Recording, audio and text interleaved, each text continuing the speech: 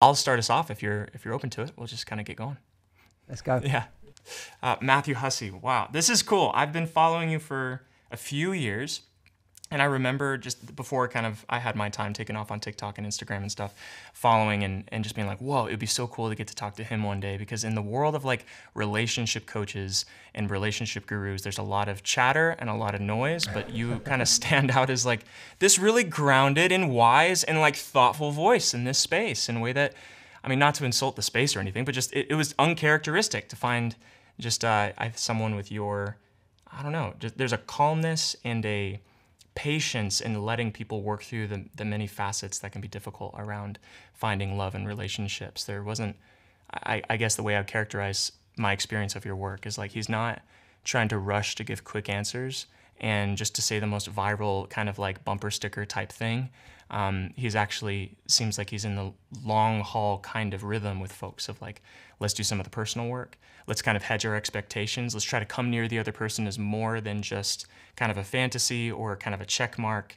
Let's try to get to know them on a deep level. It seems like you're trying to bring people deeper on their path to finding love and relationship rather than it just being a solution. Um, I don't know. How does that strike you as I describe that? Uh, that was lovely. It's really lovely. I I, I appreciate it. I, am a a fan of your work, and uh, uh, you know I really respect the way that you go about your work. I you know I think we we share some some DNA in the way we approach these things, and mm. uh, it's yeah. you know I I I don't think there are always simple answers, and I, I you know I think it's um I would. I'm like the worst live TV guest in the world. I feel like because I just. How I'm, so?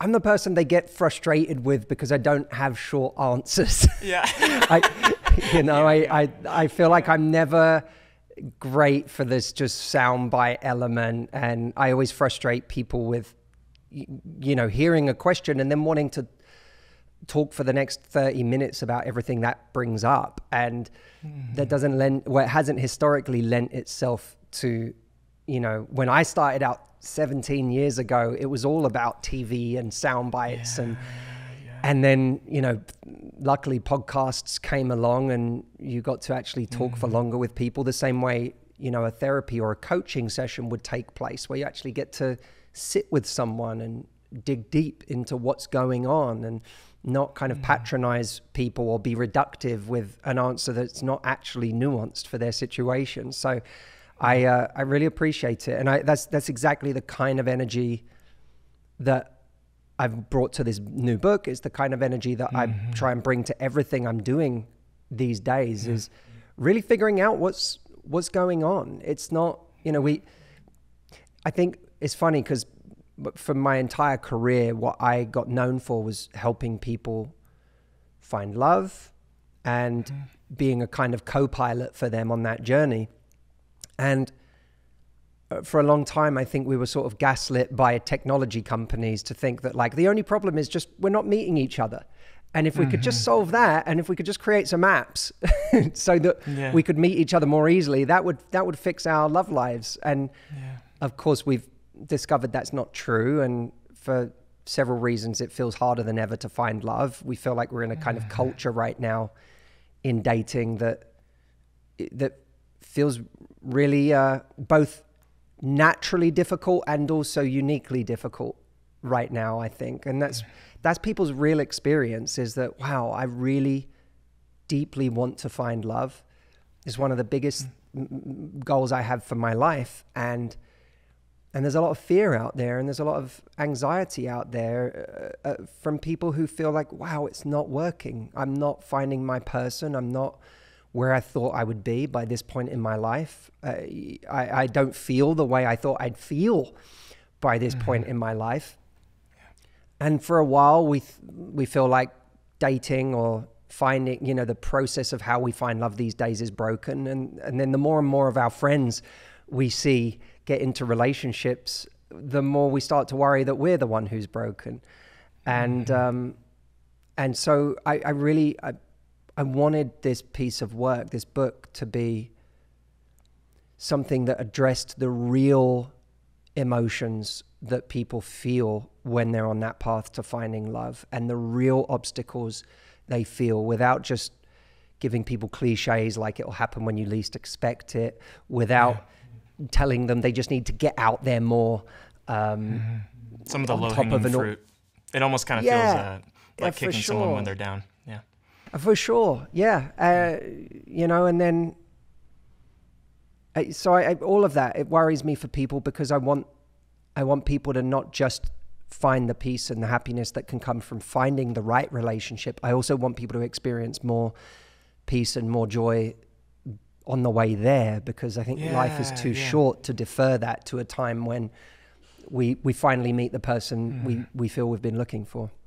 You know, I I love that you start the book in that way too. The book Love Life. Uh, it's coming out soon. I'm, I'm, excited for it. I'm excited for it to get into the world. It's um, you start the book by talking about singleness, and this is uh, it's just an interesting topic. A little bit about my backstory and just how I relate to this was I actually got married super early. So my wife and I we got married 19 and 20, and that was a little bit endemic of like we grew up in kind of conservative Christian Bible school world, and so we kind of just left right from high school into a conservative Bible school. It was pretty like the, the joke was ring by spring. You know, everyone kind of got engaged freshman year and then and then uh, you know linked up and went on their way. And most of those marriages have split up by now. Uh, that's the sad reality of just looking on Facebook at old friends that I think when you're impulsive in that moment, um, you don't always make the most maybe value grounded decisions on who you link up with.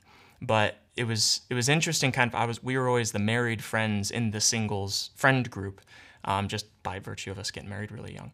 And I think it was it was fascinating just to see the the difference in our lives because I think like for example, Paige and I really focused a lot on career in our 20s and school um, because we kind of had that I don't know that aspect of trying to find the one, so to speak, kind of like already in place.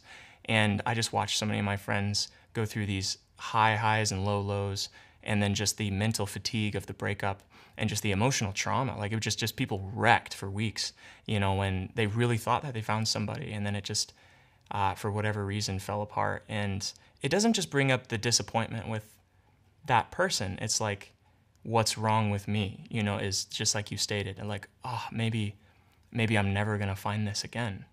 And then what's interesting now is so many of my friends. Uh, it's the first round of like divorces, right? Among amongst my friend group, kind of where I'm in my early 30s right now. And so there's lots of folks who are 28, 29, 30, kind of going through that first divorce and then re-entering back into dating. And wondering like again, is something just wrong with me? Is something just and and the thing that kind of started to hit me, maybe even just in this past year, was like, man, I think we think of singleness in this culture as like a disease, or like, like like it, it's pathologized. It's this awful thing that needs to be cured. And almost all of our energy, so much of our financial energy, our attention is on curing this disease of singleness so that we can finally be happy.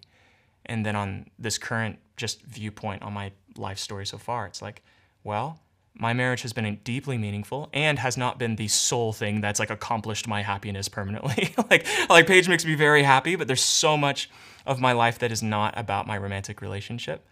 And there's so many people where I'm watching those marriages kind of fall apart and they kind of fall back into that idea of like, oh, I got to get into the next relationship. So I guess all that to summarize a question would be why do you think we hold singleness in such disrepute? And why is it this disease that needs to be cured? and what is is there anything positive in that season outside of just wait that we can say that's meaningful wow i mean there i have no doubt is a historical context that you know I, is beyond my expertise for where that deep sense of um, sort of social uh, stigma comes from mm. of the idea of being single. And I think that more, even in a what what is a much more liberal, gen, generally liberal culture these days, and a far less right. conservative one, I, I, think those hangovers don't go away so yeah. quickly, and yeah. there is still the stigma of being unpaired, and have having never found your person. Uh, I still don't think has there been a president a sitting president that's ever been single? I don't think so. Not that I know of. Yeah. You know, so it's it's uh, you know I think there's still that sense of it's not just is there something wrong with me. If I'm still single, there's the way that people look at others. Is, is there's something wrong with you that you're still Hmm. single? And we feel that judgment.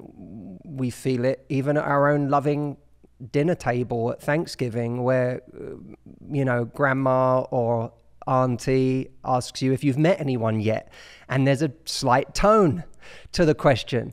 Um, we sense it, and and and of course that's a, that's coming from the outside. I think what confuses things is that there's also a very real in there's a very real internal feeling that we have that even if there was no societal pressure to find someone as some kind of marker for success there's still the internal yearning for connection Yeah, and, that's right. and and that would be there even without the the stigma it would we would still have this what feels to many like an absence at the heart of life when we go I have hobbies. I have friends. I have things I enjoy doing. I you know happy to go and see a movie on my own once in a while or to take myself to dinner. I, I you know I do all of the things that people tell me to do as a single person who needs to learn to enjoy it. And and I have fulfillment in my career and yet you know it's Friday evening and 8 p.m. rolls around and I've seen my friends 3 nights this week and god what I would love right now is to curl up with someone who understands me who is with me romantically, who I can say I'm building a future with. We, we don't think of building a future with our friends, we mm-hmm. think of having them in our future. Um, uh, with a partner, we think of this thing we'd like to build with someone, and and it, and it is an intensely sad thing for so many. I had a, a a woman that I coached who said to me, this was her first question to me when we met.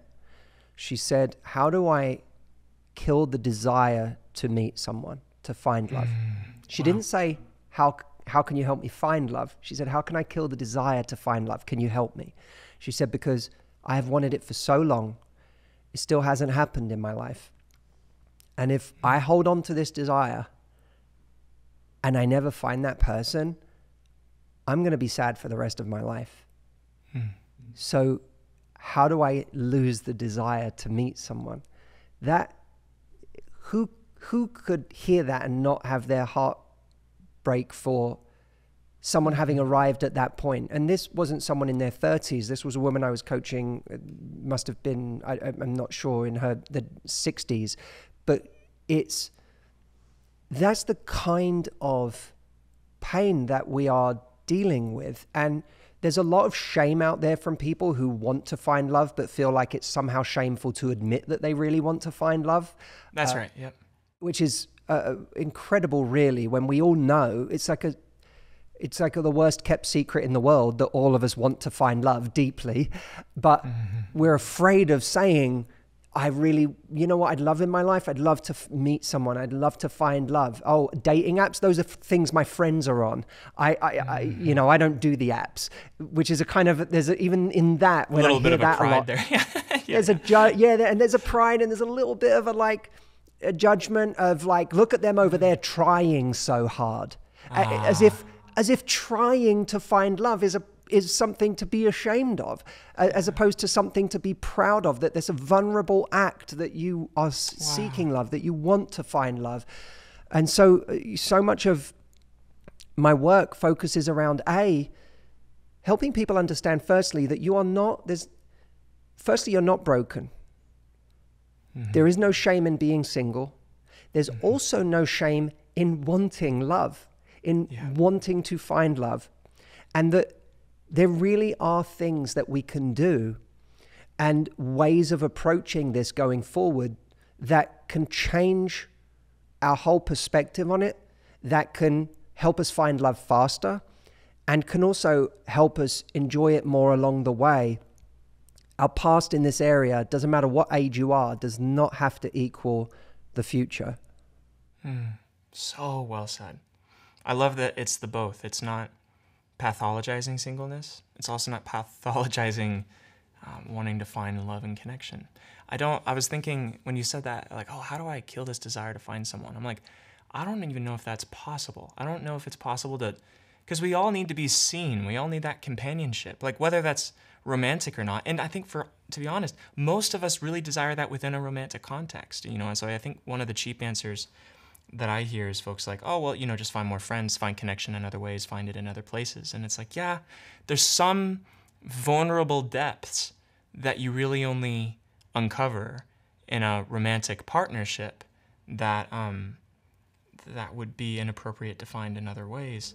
And it's okay to yeah, there's some, there's that. some, there is something a little disingenuous about those responses uh, because Yeah, I, yeah. I, I feel that the people saying them are saying something that I, I would argue they probably haven't achieved themselves. Yeah, yeah, that's Or- right. Yeah. Or, or they're saying it within the safe confines of a relationship and Mm-hmm. ha- have forgotten what it is to be in that situation and to Yeah. to to and, and and look, the other side of that is people uh, people want deep connection. They also yearn for the, the their sexuality to be expressed and Mm-hmm. and mm-hmm. the current culture of hooking up doesn't necessarily work for them. It's not.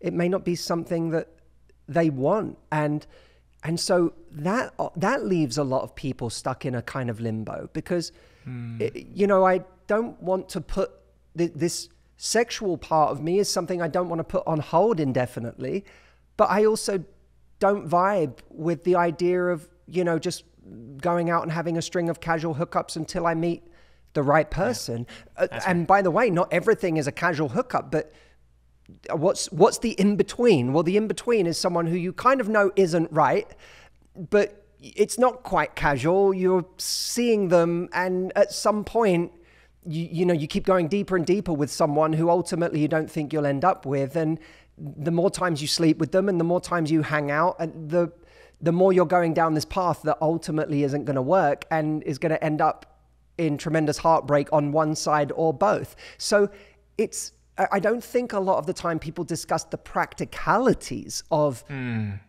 being single and wanting to express love, wanting to express intimacy, wanting to like put having this energy that you want to put somewhere and Yeah.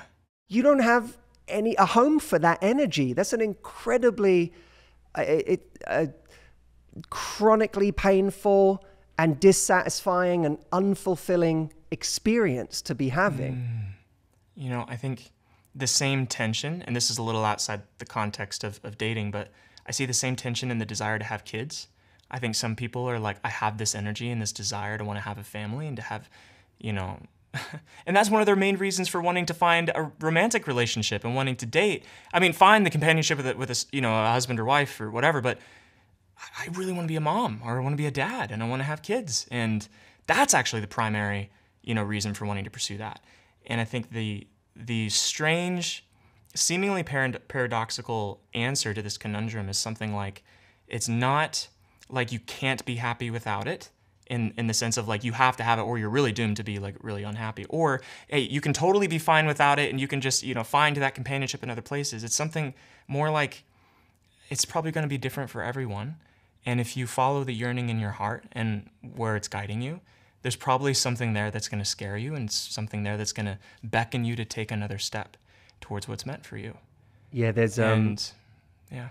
the, the final chapter of this book is called Happy Enough. Yeah, yeah, yeah, cool.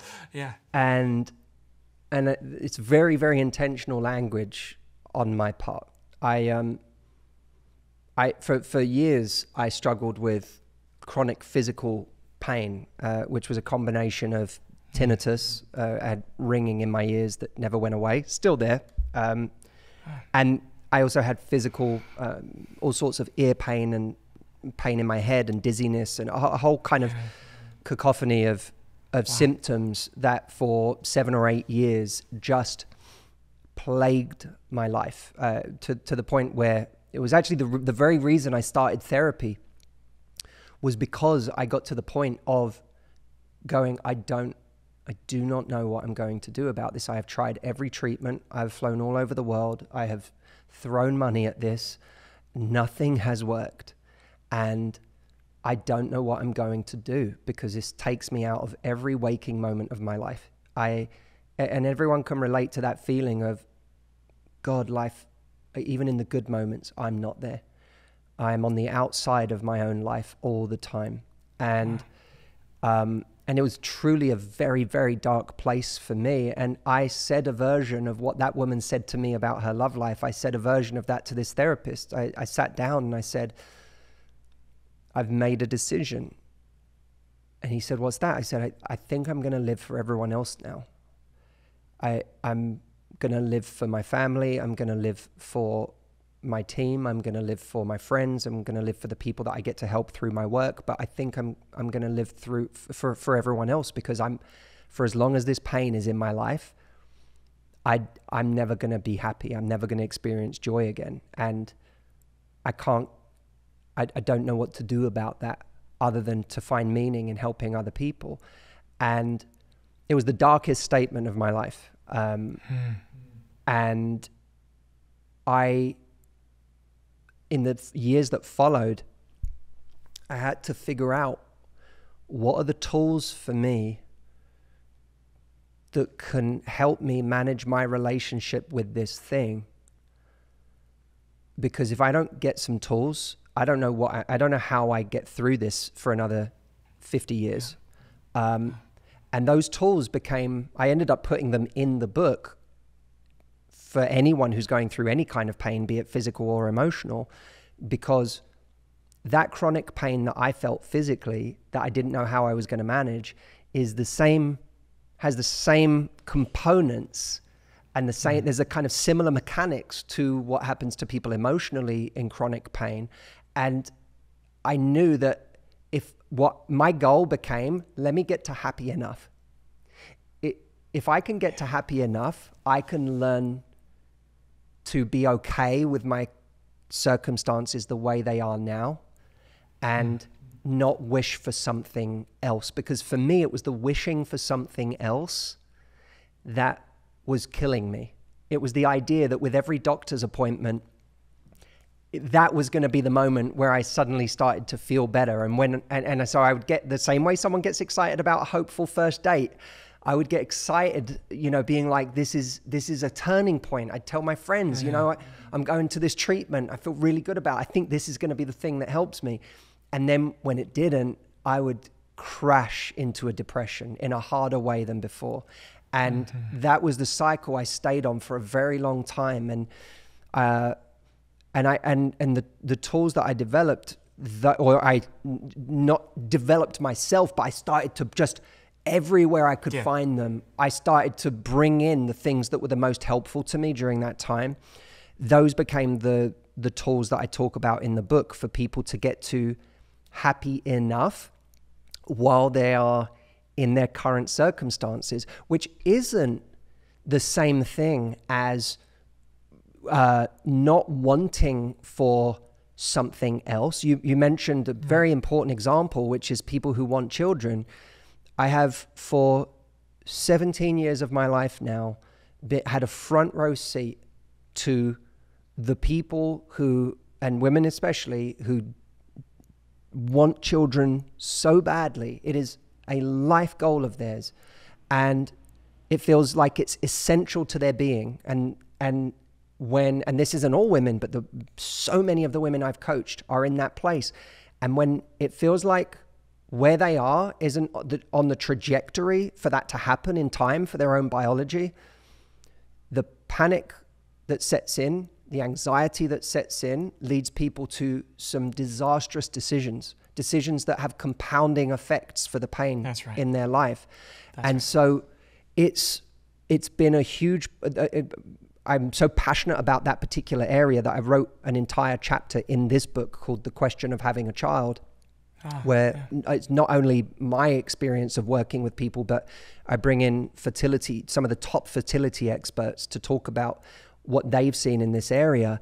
But the what can help people is to figure out what their plan A is, and then to get really clear on well, what is plan B? In that area. If plan A is that I meet someone by a certain time in my life and this happens, the, the so much of the anxiety we feel is when plan A is the only plan we've told ourselves that we can be happy mm. with.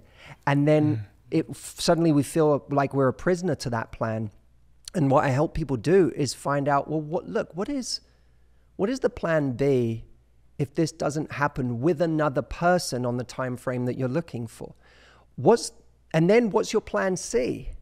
And what's mm. your plan D? And at any point you can decide and it does it's not for me or anyone else to tell people what plan B should be. That's a personal decision for everybody. But for some people plan B is I'm going to have a child on my own. For other people plan B is adoption. For other there are different avenues for different people and that's up to them to decide, but one of the greatest things we can do in life is be ready at any time to turn plan B into the new plan A and to mm. resolve to make plan B so beautiful that it's almost like y- you can't now imagine plan A having happened because plan B is so exquisitely beautiful in what you've made of it.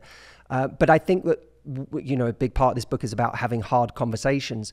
One of the hardest conversations we have to have is with ourselves that if life doesn't turn out the way that I had hoped, what's my plan B that becomes the new plan A? And how do I make that more beautiful than I ever could have imagined? And, and, mm-hmm. and that's something you can do when you get to happy enough, you get your power back again. You, mm-hmm. life isn't perfect, but you get your power back. And when you have your power back, you suddenly ha- you have the resources to start turning plan B into a new and beautiful plan A. Beautiful. And I love your emphasis on um, doing that intentionally. I, I, was just thinking as you were talking about all the women that I've worked with. Um, I used to work a lot with foster kids. So the majority at, at, the beginning of my career was like all foster kids. And the majority of the parents were single women who um, maybe in their 40s, you know, late 40s, who uh, didn't, you know, find a partner or had recently left a partner, and so they decided, you know, that they were going to express their desire to have kids in adoption. And some of them premeditated that and kind of planned through that, and some of them it was like an impulsive thing. And the difference was really striking, even in just how they held it, because the the interesting thing about what happened for the mothers as I was walking with them. Like, let's take an example. You adopt someone maybe a bit impulsively. They have like just high acuity needs, meaning maybe they went through a lot of trauma. Maybe they have special needs. Maybe they're, you know, the type of kid that wakes up in the middle of the night and uh, you're up every two hours. And so, and then you're trying to hold down a full time job and provide for this kid, but you feel overwhelmed. And it's, there's a lot of shame in feeling like even almost a little bit of regret in uh, in the adoption process. And how are you supposed to do that? Because this kid's defenseless. So why would I, you know, regret, you know, a decision like that? And then the catastrophe really compounds because it's like, oh, I tried to fulfill this dream and it turns out it's something that's making me miserable and I must be such a pathetic piece of garbage like that I'm just destined for misery. And the the arc of that, I mean that what what a complex problem to hold to hold. Like the the arc of kind of coming back around is like I think that all of us here on this earth are meant to live these different lives and to relate to these meaningful things in different ways. And when we can when we can hold the grief of our plan A not coming to fruition in the way that we hoped, and then have a gentle, warm presence towards plan B, we have a mindfulness to approach it in a way that's actually going to lead to some beneficial flourishing. And even if you went with the plan B, like I'm describing, in an impulsive way, let's say that you adopted, or maybe you decided to have a kid, now you're working full time and you have childcare and you're overwhelmed, you're not stuck. Like you're never stuck. I, I, think I think of people even who married someone impulsively that was just like, oh, I just got to get married, and, and then they're with someone and they're like, oh crap, now I'm trapped in this terrible marriage. You're not stuck either. It's like, you know, there's you're not stuck in a plan A that didn't go the way you wanted. You're not stuck in a plan B because there's a way, there's a, there's a how, there's an engagement, even within a really complex situation, where you can, I don't know, how do I describe this point? It's like the thing that's making it hard is the thing that's making it meaningful. And what I mean by that is like the reason uh, being single is hard is because relationship matters to you. The reason parenting is hard is because your dream of getting to uh, to connect with a child and and pass on what you know and even just like watch them grow up. Like all of that matters. There's a dream in the background that matters, even in all the suffering. And if you try to push against the suffering and be like, I'm going to try to make the part of me that desires that meaningful thing just die, then you're actually cut off from the thing that gives your life meaning. And so there has to be a way to get close to the thing that's meaningful, even though it's painful. And uh, I don't know what's coming up in your mind as I'm exploring that. No, it's, beautifully said. I, I th- you know what comes up for me when you say all of that is just how how messy life is. Yeah, it, yeah. You know, we ha- we have all these ideas of how life is going to be, and man, I look at I look at my last ten years and m- mistakes I thought were the mistakes of other people that I then went and made ten times worse. Um, things that you know traps I fell into that I just if you'd have asked me 10 years before that will you ever fall into that trap? I'd be like what are you talking about? That's not me. You know it's life is just really really messy. And um, I, I think we have to get good at giving ourselves compassion and forgiveness and moving on from things that with hindsight and with you know more tools more resources uh, the, the, yeah. the, the, the presence of a, a, a, an Instagram video you just watched that now has clarified something for you. It, yeah, you think, yeah. oh, I would never do. I, I can't believe I did that, or I, can't, I was so stupid. I was so, and I've I've done that in one form or another my whole life. You know, I've I've I my when I think of what's been my biggest burden, it has been self judgment. It has been constantly, relentlessly beating myself up for the the mistakes of the past and or the or the or the mistake this morning, and not being able to make peace with it, not being able to understand that the person who did that and everyone else can think like this too. You know, the version of you that got into that relationship, the version of you mm-hmm. that stayed in that relationship for, for 10 years longer than you think you should have now that you're out of it um, you know, the the version of you that made that decision, it was a different version of you. It wasn't you today. It, it was an earlier mm-hmm. model. Uh, yeah, that's a good point and, too. Yeah. And and you didn't. Of of course, you made the decision you did. You know, you were working with the the tools, the DNA, the influences, the mentors or the lack of mentors that you had then. That was you were doing I, I, I think our best can be tragic. I think our best can be terrible. But our best is what we're doing. And mm. that you know five years ago when you decided to get into that relationship you know or 20 years ago when you embarked on that marriage with a narcissistic person that just ended and you're looking back and going where did my life go? How did i give up 20 years of my life to this person. And and of course things like that create so much self-hatred. I've thrown away my life. I've thrown away uh, you know all of those years that i could have mm-hmm. been doing something else. I've now got to pick up the pieces of you know people people make decisions that that bring utter chaos and devastation into their lives or they or they align themselves with a person that brings devastation into their lives. And and i think one of our big regrets sometimes is how bad things have to get for us to do anything about it. You know, we we go, did I really have to let someone destroy my life before I left?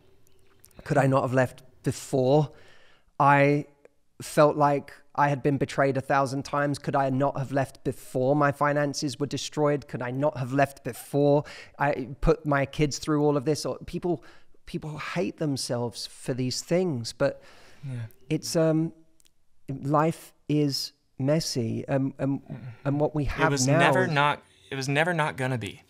It was never not gonna be messy. Yeah. Sorry. Finish never. your thought. Didn't mean to cut no, you. never. And and and it's.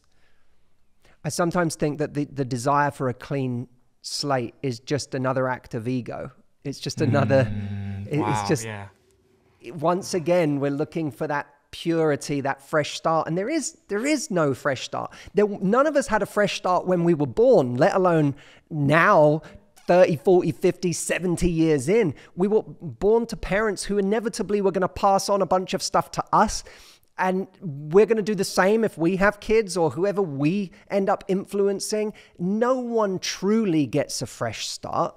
So mm. it, we kind of, I, I really believe we have to sit with where we are now in our lives and just go into this complete acceptance of what's our what's my starting point now?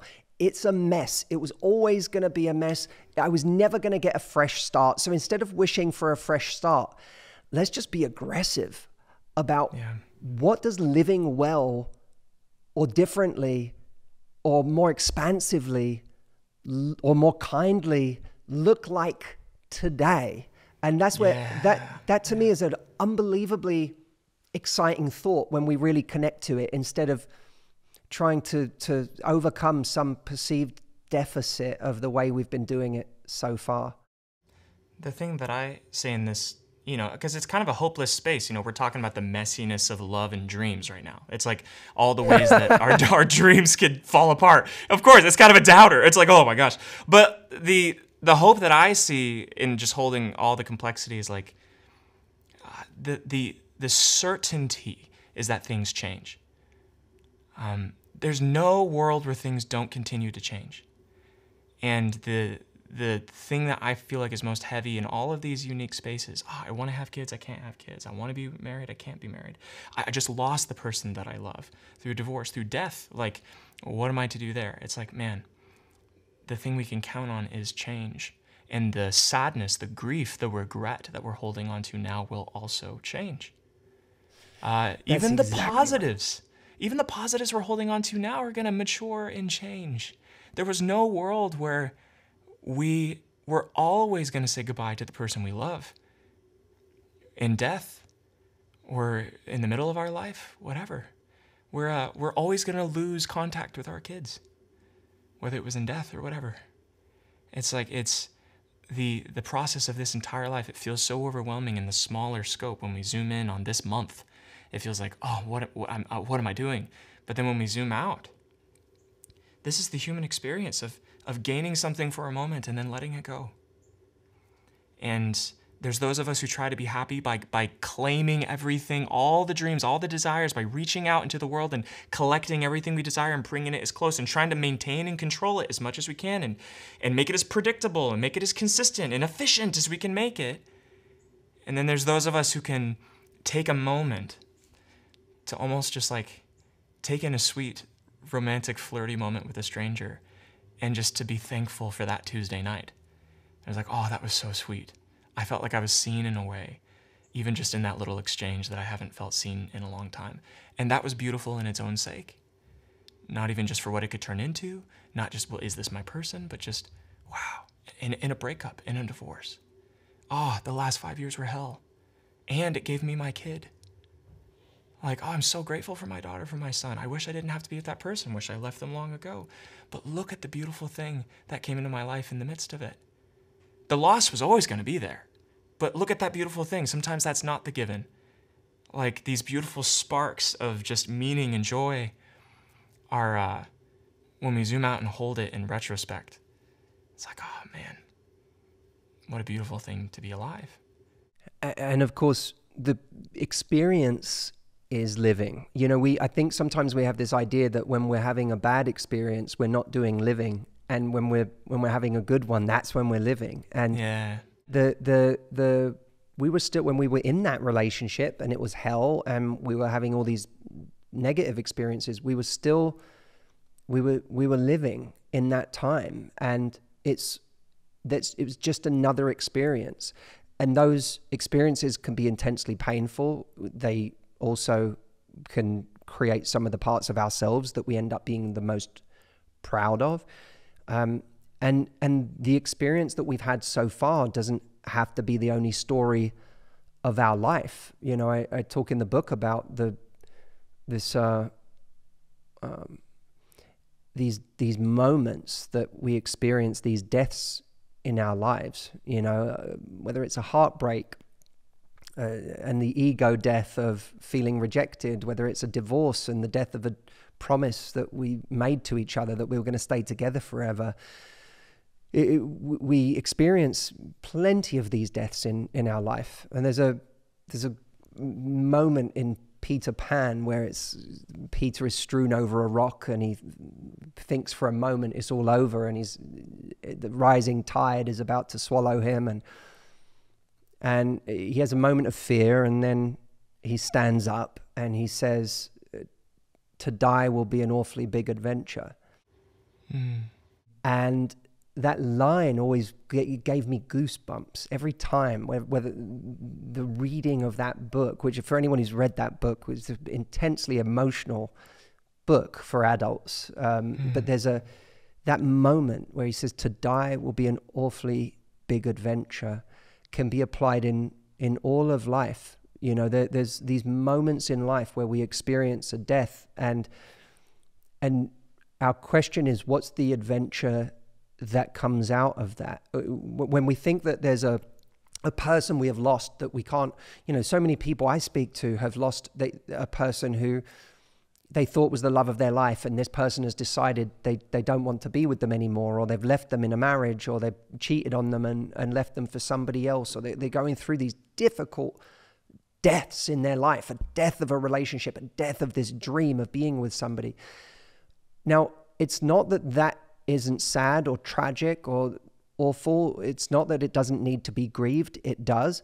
But if we're not careful, we will start to believe that that's the that was the great story of our life mm, and yeah, and and, yeah. and that's the dangerous part is we we can all we all relate to watching movies that make us cry that every time we watch that movie it makes us cry but we turn that movie off and then we go live the rest of our lives. It's not, we realize, oh, that was a movie, that was a, a, something I engaged with for a couple of hours.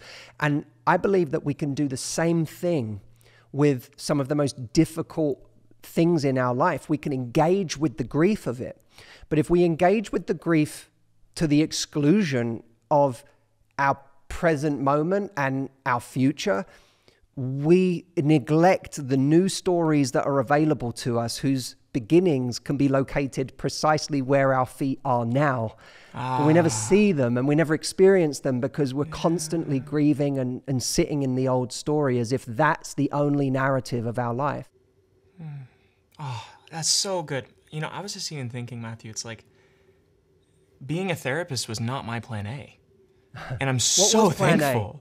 I wanted to be a preacher. I wanted to be a pastor, and that was that would have been a great dream, and I'm sure I would have been uh, doing just fine in that. But it, you know, my path led me over to being a therapist, and I'm so grateful. Like, there's no part of me right now that's like, ah, I should go back to the other thing, because I'm like, I, I'm. It's so meaningful and so full of joy here, and then I just I think about other things like, um, you know, even just I have two kids. I, I have a I have a three year old and a, and a one and a half year old, and to be honest, I think having kids wasn't something I was like particularly I don't know. It wasn't on my bucket list in my 20s. I was just like, ah, oh, maybe one day, whatever.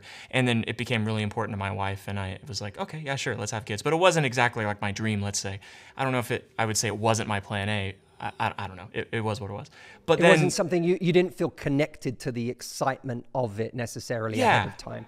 That's a great way to describe it. That's exactly it. And then I got into the experience, and I'm like, oh my gosh, this should have th- this is certainly plan A material. Like like this is incredible. like obviously, like it's I don't I'm not always the best judge of what should be the plan A. I think was what I realized was like maybe life has a plan that is beckoning me. And I have my opinions over what should be plan A and plan B and plan C.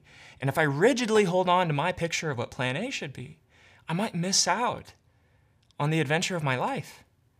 And just there's like what you're saying, like you're smiling. What's coming up? No, there's a, there's a there's a, a British poet um, and writer, David Whyte who wrote a book of essays, another great book, uh, Consolations, um, that mm. I would mm. encourage everyone to read. He takes these words that have lost their meaning through overuse and he re-imbues them with a sense of poetry and meaning. And oh, he, cool, cool. He took the word ambition for the first chapter and he had this line when he described ambition. He, he said, Ambition is frozen desire. And oh, wow. it's such a profound line because what he was getting at is this idea that we take these desires we have and then we concretize them. Mm. and within them, our prospect for happiness and where, what we think is going to make us happy. And it, it is it lacks humility. It has no, mm. it has no kind of um, curiosity about all of the ways that life is going to bring us joy and meaning that have nothing to do with the things that we decide to be ambitious about, whether that's a career or having children or a certain relationship or moving to a certain country or whatever it is. It's that joy is is what happens along the way uh, in amidst all of those plans that we make. And so I just that that idea, I think I would invite everyone to ask what part of my ambition right now is is frozen desire that really leaves no space for where so much of my joy and my happiness is going to come from. Yeah. Oh, couldn't put it better myself. I feel like that that stamps this conversation in a really beautiful way. Um, this frozen desire. I'm gonna write that down. I got chills when you said that. Yeah. What if you're not uh, living in the wreckage? Of a perfect dream and you have to settle for second best, you're actually right at the mark of the path of a great adventure that is going to surprise you. And if you have lack of faith that that's even possible, if you're in that hopeless, depressed space, the thing that I hold on to in these moments, and I run into them myself plenty, is the one thing I can count on in this life is things change. And even the dark, hopeless, discouraged wreckage that I'm feeling now will change. It's Thank funny you, you say that. Every every in the the back of the book, the, the in that chapter, happy enough, when I give the tools for how we change our relationship with the difficult times in our lives one of those tools is labeled everything changes so oh, start, we, beautiful. it's kind of a nice full circle moment we said we had some uh, shared dna here i, yeah. I, I, think um, i encourage anyone who's in your audience who feels this conversation was in any way valuable or healing, I think you'll get a lot out of this um, book. So mm. I, I hope you'll, if, if you're in Matthias's audience, thank you for yeah. listening. And, and, and if you, uh, if you do get the book, let me know what you think because I'd love to hear about it. And, and, for anyone, by the way, who does want to know more about it, um, you can get the book. Uh, it's available. Um, I think we're releasing this around the time that the book is available, um, yeah, or yeah. just before. So um, it's at lovelifebook.com. And we also have an event that I'm doing on the 4th of May, um, which is going to take the lessons of the book and bring them to life in a live way, virtually. So wherever you are, you can join. But um, all of the Good. everyone who gets everyone who gets a copy of the book is going to get a ticket to that event for free, and you can find it all at lovelifebook.com. Oh, everybody go get this book. Love life, love Matthew and everything that he's bringing in the world. It's um, I've gotten to crack it. I'm I'm a few chapters in, and I'm just again impressed with the the not settling for cheap answers, not avoiding the messiness. I think you've probably heard that in this conversation. There isn't a we're not shying away from the reality that there's a lot of hardship in this whole path to finding love and building a love life. And Matthew, I think you're doing justice, and I think you're really helping thousands, you know, tens of thousands, however many people around the world. Um, really move towards the things in life that are meaningful, the relationships that their hearts desire. I, I respect you and really love your work. Thank you for having a meeting with me in this conversation. It was great. Thanks for having Matthias. I uh, I look forward to doing the same with our audience sometime. You got to come yeah. and speak to our uh, Good. all of the people.